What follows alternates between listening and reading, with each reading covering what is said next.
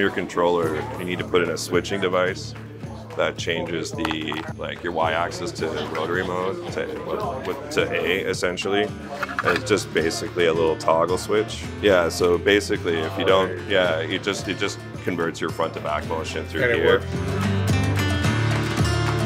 Just go back through the resources again. And um, I mean, they're very full, so sometimes it's like I do it all the time. I miss a step, so it's like okay, I'll just double check this, I'll double check that, and then if you send in a picture, like you send me in a photo of like that, that's perfect. I can kind of help figure out where you got things going in. But yeah, give it a give it a try into here. We're gonna give this away, and I think they we're gonna give this away too. So maybe you should come back and see if uh, you can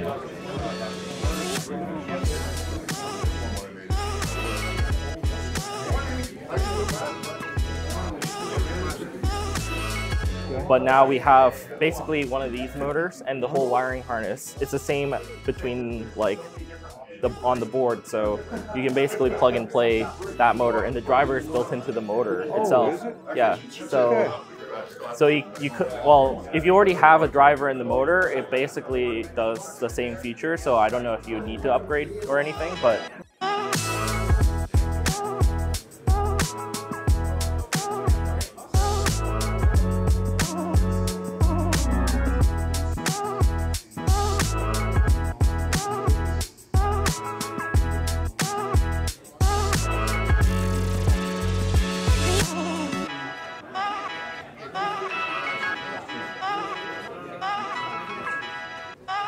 the end of it's a toothpick. Oh yeah. It's tiny and it survived. The part that really upset me was when I carved that little baby one, I was taking footage of it, I was taking video, and as I brought the camera back across, the camera caught it and snapped it. You're going. I, I saying bad words. Well, and the best part was that was the last shot I was going to take. I was like, you know what? I'll take one more. Snap. This was done on the LongMill, kind of the baby brother to this guy. So, and then there's a bunch of other wood examples over there, a little more traditional. I was expecting wood. I know, that's why I brought this with me. Router and. Right? Yeah, I was quite pleased with that one. I'm trying to get Johnny Depp to give me a shout out for Captain Jack Sparrow, but he's too cool for me right now, I guess. So join the mailing list, even if you want to keep in the know what's going on. Little computer over there, fill it out, check out the samples. Any questions, feel free to ask us. That's why we're here. If if you've watched the video where I made a shop a sign for my workshop, there's a little behind the scenes that nobody knows about where I it just glued itself back together over and over and it was like five passes. I'm like, this is stupid, Scott. Why did you do this? But we got there.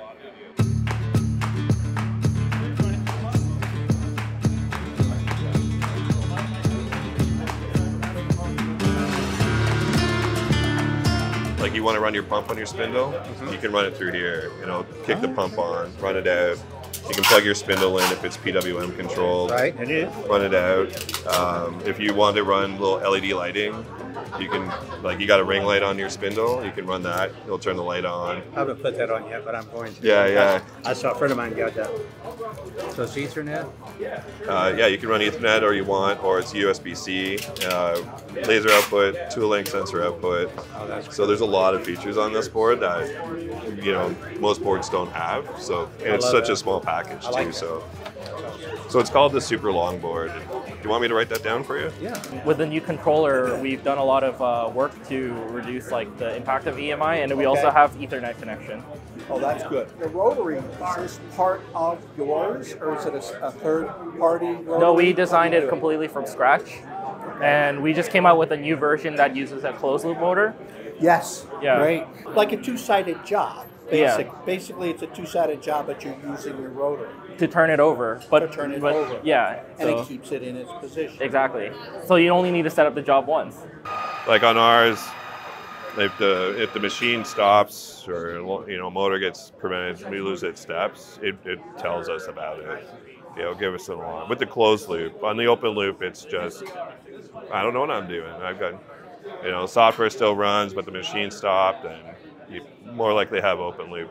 It's the the fourth axis is super nice and it's such a clean setup as well. Like yeah, even at work, we were running this with the switcher, and I just swapped it out. We're gonna be giving away the AltMill, but yeah, just as an introduction, uh, we're Sienci Labs. I'm Andy. I'm uh, the CEO, co-founder of the company, and we're excited to give away the new AltMill. And so, if you guys don't know, it's a four foot by four foot machine designed for production and cutting wood and all that sort of stuff. So yeah, if you don't get a chance to haven't got a chance to check it out, we'll have it in the back room as we take it apart for whoever the lucky person who's going to take it home. First of all, I just want to thank the Vectric team for having us. It's really great to meet the team, and I also really appreciate how amazing the software is. Um, a lot of our users use it, and they've said they say great things about it. We, as a team, we use it all the time, and I love the software a lot. So um, yeah, and it's also been really great to meet the community and a lot of our customers,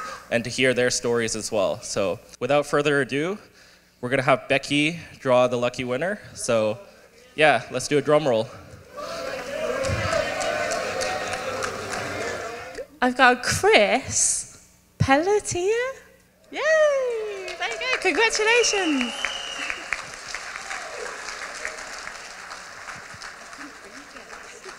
Congratulations. Um, yeah, we'll work on getting that machine mailed out to you. So thanks for uh, thanks for participating.